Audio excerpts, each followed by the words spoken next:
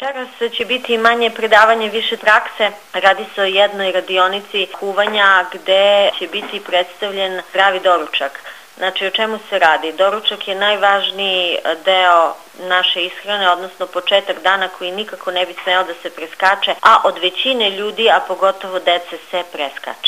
Prema tome, mi smo u klubu zdravlja, pošto radimo na, na promovisanju zdravog načina života u preventivne svrhe, znači kao preventivna medicina, upravo smo hteli da deca u školi vide kako se počinje dan, šta znači zdravi doručak i na tome smo bazirali ovu radionicu koja će biti.